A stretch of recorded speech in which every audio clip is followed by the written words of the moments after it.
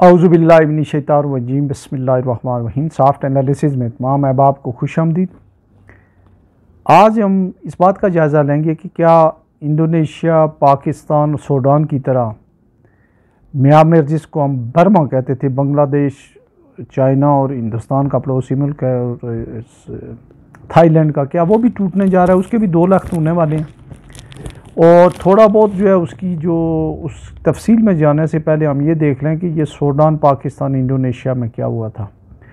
تو انڈونیشیا سے شروع کرتے ہیں جو اسلام کی سب سے بڑی جو ہے اسلامی سلطنت ہے۔ وہاں پہ جو ان کے تھے، جو بابا قوم تھے، ڈاکٹر سوئکارنو ان کو ٹپل کیا تھا جنرل سوارتو نے۔ اور انہوں نے پھر اس وقت چھوڑا اپنی، اس کو جو تخت کو۔ یا مارشل لا اس وقت اٹھایا، جب یہ انشور ہو گیا کہ وہاں پہ جو ہے ان کا ایک حصہ جو ہے، جہاں کرسچن آبادی زیادہ تھی، اس تیمور جو ہے وہ ان سے علیحدہ ہو جائے گا، تو وہ جو ہے ان سے علیحدہ ہوا۔ یہ سمرات ہیں اس کے ڈکٹیٹرشپ کے۔ پاکستان کا آپ کو پتہ ہے کہ تقریباً جو قائد اعظم کے وفات کے بعد جو ہے ٹیک اوور کر لیا تھا یوب خان صاحب نے۔ اور انہوں نے بھی اس وقت چھوڑا، جب جو ہے وہ تقریباً جو ہے انشور ہو گیا تھا مجیب الرحمان کے چھ نکات آ گئے تھے کہ یہ تقریباً جو ہے اس پاکستان علیحدہ ہو جائے گا۔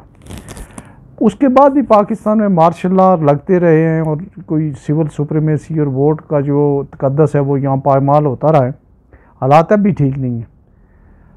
پھر سوڈان جو ہے وہ رقبے کے حساب سے سب سے بڑا اسلامی ملک تھا، وہاں پہ ایک ڈکٹیٹر جعفر النمیری ہوتے تھے۔ پہلے وہاں پریزیڈنٹ تھے، کوئی وہ بھی ڈکٹیٹر ہی تھے، لیکن بعد میں بشیر جنرل بشیر آئے پورا ان کا نام میں بھول رہا ہوں۔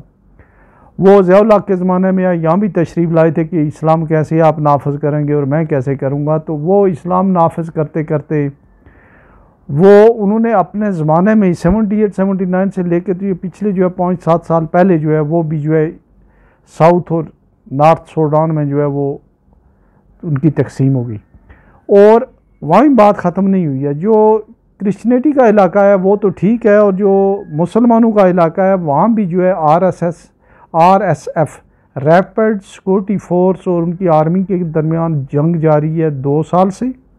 اور زیادہ تر علاقہ جو ہے وہ جو ہے وہاں پہ ملینز کے حساب سے جو ہے لوگ جو ہے وہ ڈسپلیس ہوئے ہیں اور جو ان کا جو خرطوم ہے، سوڈان کا جو دارالحکومت اس کے بیشتر علاقے پہ اب بھی باغیوں کا قبضہ ہے۔ تو یہ صورتحال رہی جو جمہوریت کے سب اس کے علاوہ جو اگر آپ دیکھیں، جہاں جہاں بھی ڈکٹیٹرشپ رہی ہم مسلمان ملکوں میں لیبیا ہو، عراق ہو، شام ہو، ان میں سے کسی ملک نے جو ہے ترقی نہیں کی، اس کا برا ہی حال ہوا ہے۔ جن ملکوں نے مسلمان ملکوں میں یا دنیا میں ترقی کی ہے، وہاں پہ جمہوریت جو ہے ایکسیپشنز ہیں۔ چائنا ایک ایکسیپشن ہے، یا رشیا۔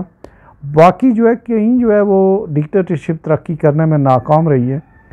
آپ یہ دیکھیں کہ ہمارے جو پڑوسی ملک ایران ہے کتنی مشکلات کے باوجود وہاں پہ جو ہے وہ ہمیشہ الیکشنز ہوتے ہیں۔ لائک وائز جو ہے، ایک اور ملک تھا، آج سے تیس، چالیس سال پہلے اس کا بڑا برا حال تھا، فلپائن۔ وہاں پہ جو صدر مارکوس تھے، وہ بھی ایک ڈکٹیٹر تھے۔ جب سے وہاں جمہوریت آئی ہے، وہ ایکسپورٹ کے حساب سے اکانومی کے حساب سے فوجی لحاظ سے ہر لحاظ سے جو ہے وہ اسٹیبلش ہو گیا اچھا ہو گیا۔ تو اب ہم آتے ہیں اپنی اوریجنل جو ہمارا سبجیکٹ ہے میامر یا برما۔ برما تقریباً پاکستان کا جو ہے، اس کی جو ایک انٹروڈکشن ہے وہ یہ ہے کہ پاکستان کا تقریباً پچہتر پرسنٹ ہے۔ پاکستان کوئی آٹھ لاکھ ایک اسی ہزار مربع کلو میٹر ہے اور وہ چھ لاکھ چھہتر ہزار ہے، کوئی پچہتر پرسنٹ تقریباً چوتھا حصہ ہے۔ نہیں، ساری three fourth seventy five percent حصہ ہے۔ اور چھ کروڑ کے آس پاس آبادی ہے اور بہت بڑی فوج مینٹین کر رہا ہے۔ اس ان کی جو فوج ہے وہ تقریباً اپنے قد کاٹ سے بہت زیادہ ہے۔ تقریباً پونے پانچ لاکھ تو ان کی جو ہے وہ پیدل فورس ہے، ایئر فورس نیوی کو چھوڑ کے۔ زرعی ملک ہے۔ وہاں پہ جو ہے ویسٹ کی بہت زیادہ جو ہے انویسٹمنٹ بھی ہے۔ اور ان کے جو وہاں جو سب سے بڑی بات رہی ہے وہ یہ رہی ہے کہ انیس سو اٹھتالیس میں آزاد ہوا اور انیس سو باسٹھ سے لے کے دو ہزار گیارہ تک مسلسل مارشل آ رہا ہے پھر آنگ سوچی جو ایک نوبل انعام یافتہ ان کی پرائم منسٹر آئیں تو وہ آئی تھیں۔ دو دفعہ انہوں نے الیکشن جیتا، لیکن انہیں ایک دفعہ اقتدار نہیں دیا گیا، دوسری دفعہ دیا گیا، پھر ہٹا دیا گیا۔ اچھا یہ ایک ایکسٹریمسٹ ملک ہے، بدھسٹ کا، جہاں پہ مسلمانوں کو اس طریقہ آجر موڈی کی طرح جو ہے، وہ جو روہنگیا مسلمان ہیں، انہیں کاٹا گیا، کوئی انٹرنیشنلی بھی کوئی نہیں بولا۔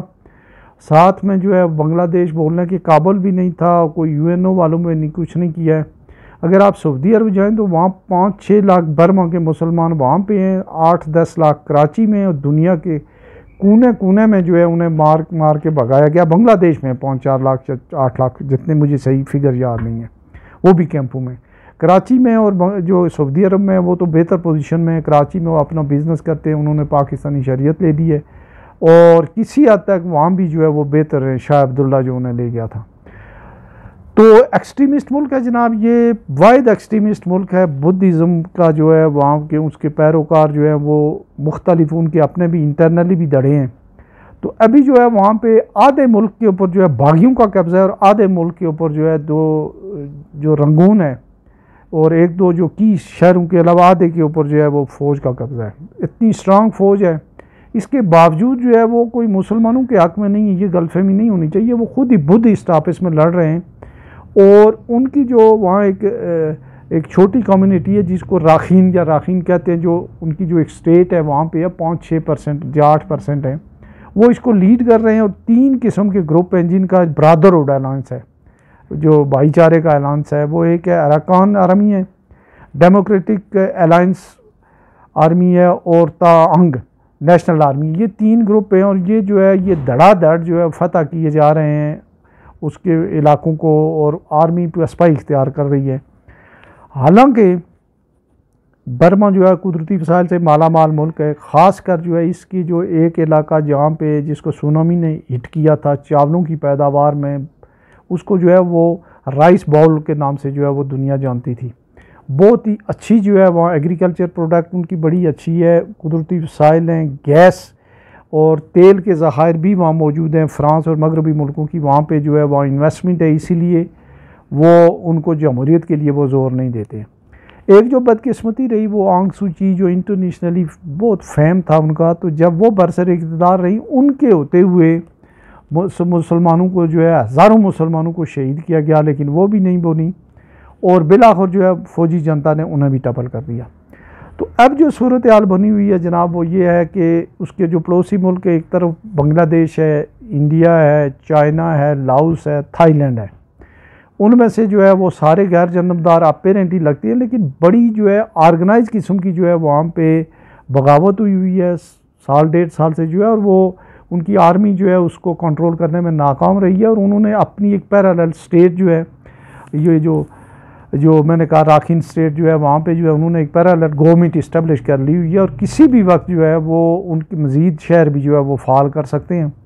تو جو اس ڈسکشن کا اصل ہے وہ یہ ہے کہ عوام کی جو جو ووٹ کا تقدس ہے یا عوام کی آرا جو ہے اس کے اوپر اگر اس کو جو ملک یا جو قومیں جو ہے، اس کو رسپیکٹ نہیں دیں گی۔ وہاں جوڈیشری ہوتی ہے اسٹیبلشمنٹ ہوتی ہے، تو بنیادی وہاں بھی جھگڑا جو ہے اسٹیبلشمنٹ اور جوڈیشری کا۔ اسٹیبلشمنٹ جو بھی ایکٹ کرتی ہے، وہاں کی جوڈیشری اس کو جو ہے وہ انڈوز کر دیتی ہے، نہیں تو فوجی عدالتیں کر دیتی ہیں۔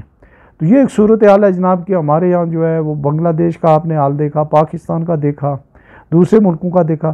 اور ایک بہت ہی بڑا ملک ہم سے جو انڈیا ہے، جہاں پہ جمہوریت ہے، اور وہ بڑے مزے سے جو ہے وہ ترقی بھی کر رہے ہیں۔